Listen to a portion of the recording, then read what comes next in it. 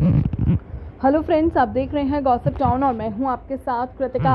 परिणीति चोपड़ा और राघव चड्डा की होने वाली है शादी। हालाँकि इन दोनों की शादी की डेट की तो अनाउंसमेंट नहीं हुई है, लेकिन इन दोनों की शादी का वेन्यू और रिसेप्शन का वेन्यू तय हो चुका है। जहाँ खबरों के मुताबिक परिणीति और राघव उदयपुर में शादी करने वाले हैं। इनकी शादी काफ़ी रॉयल अंदाज में होने वाली है तो वही खबरें आ रही हैं कि इन दोनों का जो रिसेप्शन होगा, वो गुरुग्राम यानी कि गुड़गांव में रखा गया है।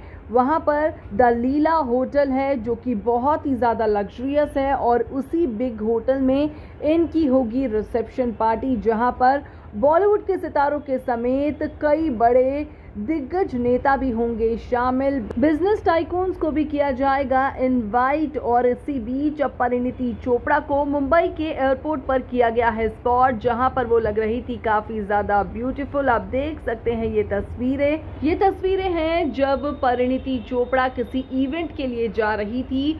वो ब्लैक ड्रेस पहने काफ़ी ज़्यादा खूबसूरत लग रही थी, आँखों पर चश्मा और साथ में उन्होंने एक स्लिंग बैग लिया था। उनका ये छोटा सा स्टाइलिश जो बैग था, ये बहुत ज़्यादा सुर्खियाँ बटोर रहा है और परिणीति इस दौरान नो मेकअप लुक में नज़र आ रही थी। फैंस उनके साथ लगातार सेल्फी ले रहे थे तो वो क्यूट स्माइल के साथ कर रही थी पोज और उनकी ये तस्वीरें सोशल मीडिया पर आग की तरह हो गई है। वायरल फैंस उन्हें दे रहे हैं, उनकी होने वाली शादी के लिए ढेर सारी बेस्ट विशेष वैसे परिणीति के चेहरे पर मैरिज का ग्लो भी साफ़ देखा जा सकता है। वो बहुत ज़्यादा हसीन नज़र आ रही थी।